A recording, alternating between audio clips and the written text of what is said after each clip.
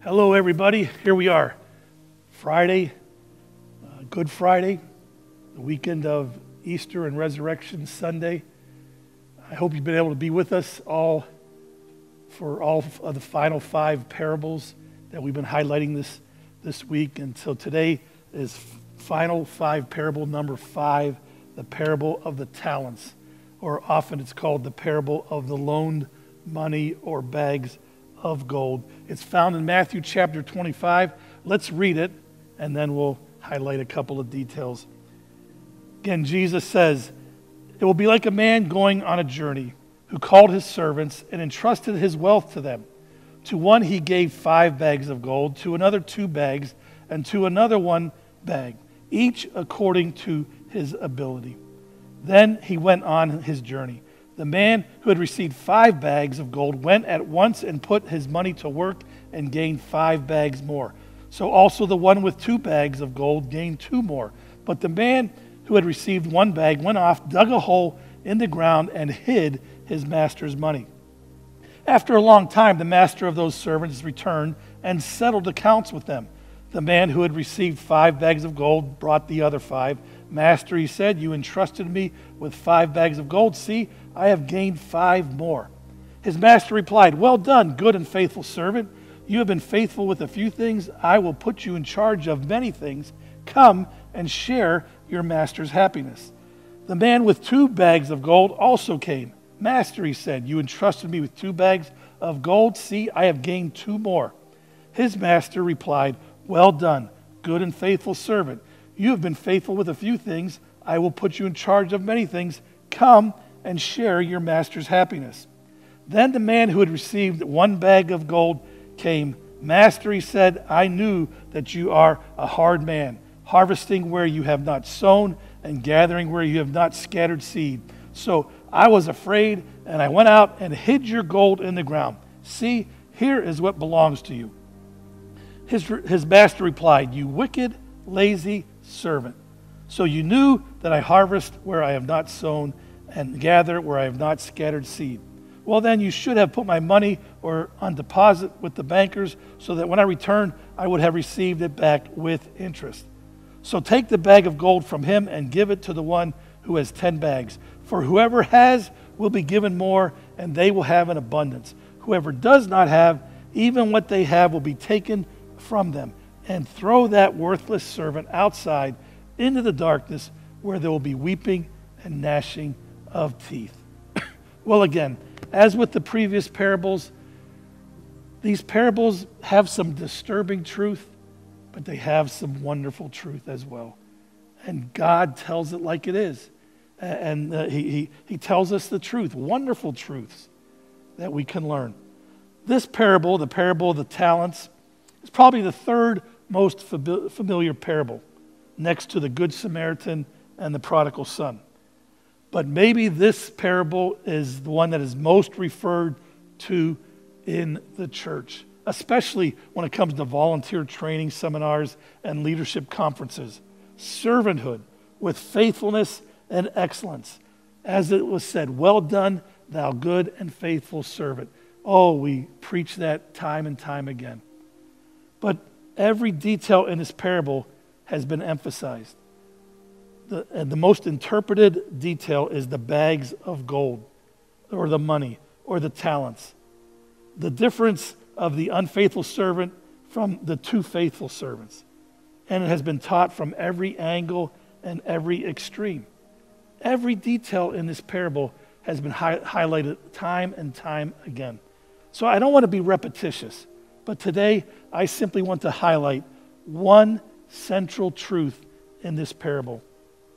And I want to consider, I want, and I, I want to consider the master's investment to the servants from the point of God's gift of salvation. I don't want to talk about talents or abilities. I want to talk about what the Master has entrusted to us, what God has entrusted to us, and that is his gift of salvation. He's given, to, given it to us freely through his Son, Jesus Christ. He gives, it to, he gives it to each one who will simply accept it and believe. Simply stated, you cannot just go and hide or bury your faith. God has given you the gift of salvation, the gift of eternal life. We can't just go and hide it and bury it somewhere and wait for that eternal life to start. God wants us to share our faith. Just simply share our faith. Share what we believe and what we have received. And so we need to understand, uh, you know, to, to go and bury our faith uh, might mean you never believed and that you were never really saved. But I, I, that's a whole other topic, whole other subject.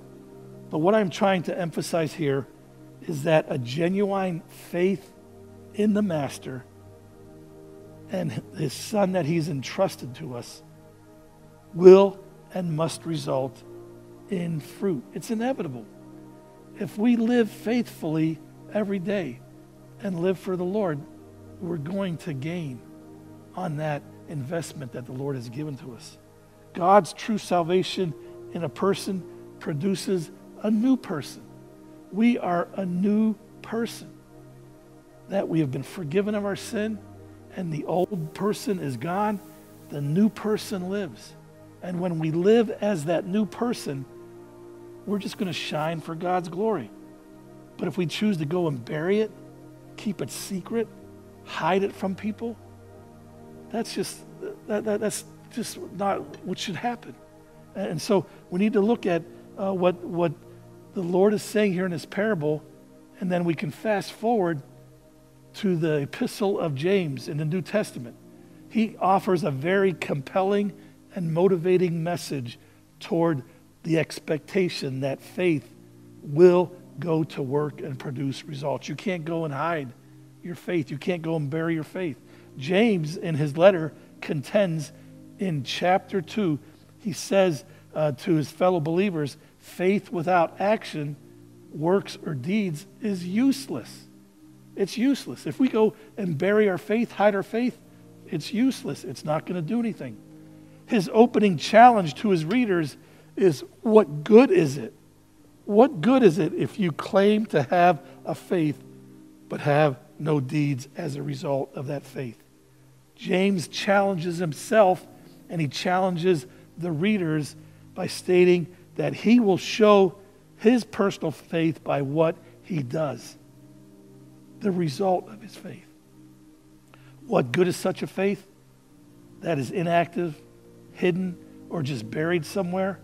James boldly states such faith is not even alive, it's dead.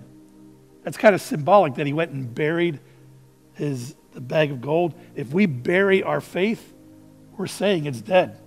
We're putting it in the ground and saying our faith is dead. I wonder if James was being inspired by this parable of Jesus as he was writing this letter to the Jewish believers. Anyway, I want to share one final observation concerning uh, this unfaithful servant in this parable. You can see that he was already backpedaling as he appeared before the master. He knew he was already in trouble as he heard what happened to the first two uh, servants and he realized what he had done. He knew it wasn't going to turn out good for him. He was claiming that he knew how the demanding master was. But you know what? He really didn't know the master at all. Because the master, what he did for the other two servants, is he said, Come and share in my happiness. This was a good master. This wasn't a master who was going to mistreat his servants. This was a master who was going to bring his faithful servants in and they would share in his happiness, share in his goodness. And so, this unfaithful servant he didn't get to share in that because he had buried that which the master had given. So I submit to you, he didn't really know the master at all. And I ask you, how well do you know the master? How well do you know the Lord? There's quite a lot within this parable, but at its core is this truth God's gift of salvation is offered to all, He gives it to every one of us. For those who accept this precious gift of forgiveness that brings new life brings us a very important responsibility as well to simply share the Master's gift. What a tragedy it would be to bury such a gift and hide it from others. Don't let your faith be dead, but let your faith be alive and let it shine for the Lord. Bow your heads with me in prayer. Heavenly Father, thank you, God. Thank you for all these parables. Thank you for these wonderful truths. Lord, we thank you for the precious gift that you have given to us that gives us life. Forgive us, Lord, if we have kept it to ourselves. Forgive us, especially if we have buried it. Lord, as we approach Resurrection Sunday and celebrate that you rose again, Lord, I pray that we would raise up our faith. And if we have buried it, Lord, I pray with your help, renew it and let us live with a faith that is alive and well. Thank you, Lord, again. We give you all the praise. In Jesus' name, amen.